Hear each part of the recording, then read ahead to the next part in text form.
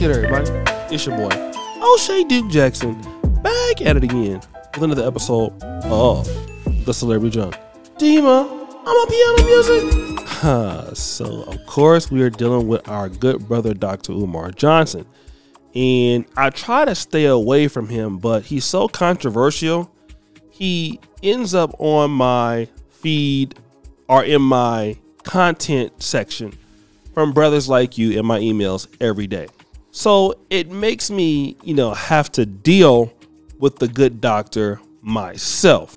And of course, Dr. Umar Johnson is against interracial relationships. I do not believe because he hates, um, you know, other races of people, but he understands, you know, what is needed for an example. And I want to talk about that because, you know, when you're dealing in the black community or any community, if you can keep your money within your group, it's beneficial. It's a power move, right? And whenever you can do that, that's a great thing. You have black families, you have black businesses, and all kind of stuff.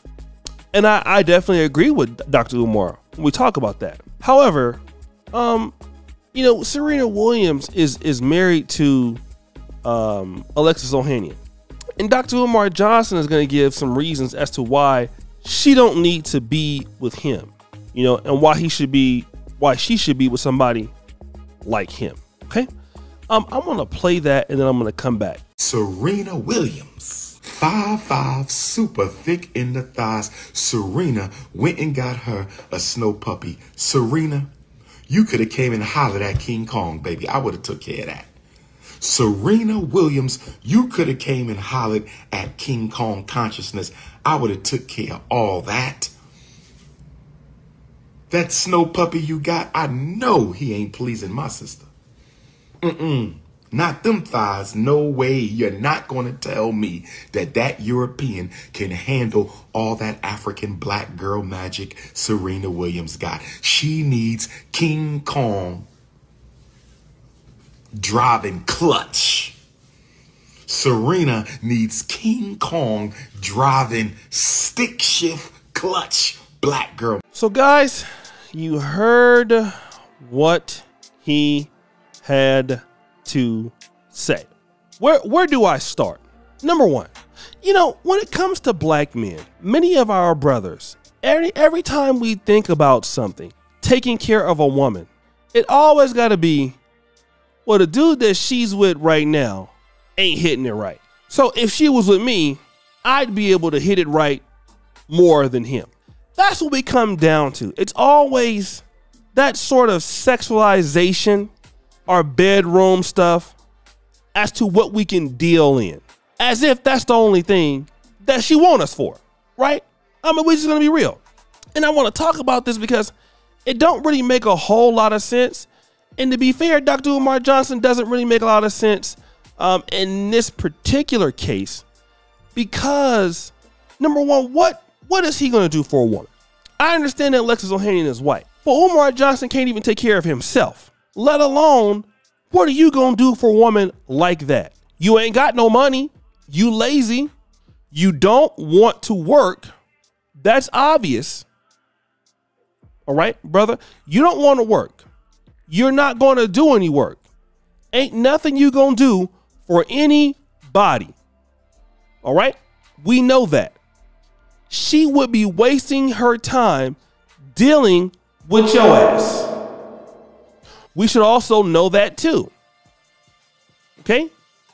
We should also know that too.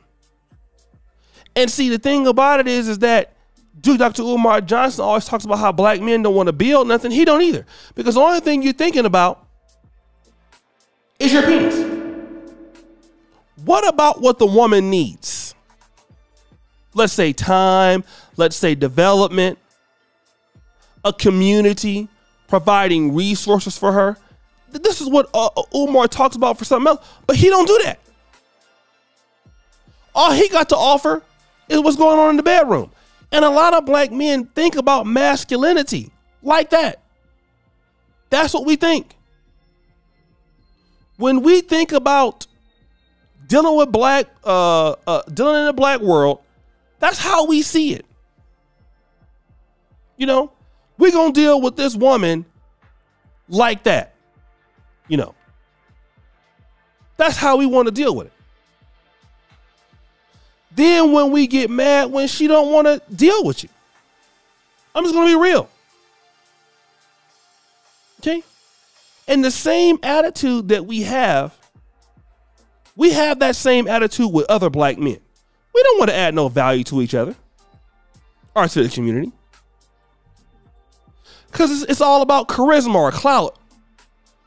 And if it's with the woman, it's about what you can do to, with, with her in the bedroom. What do you have to offer the woman?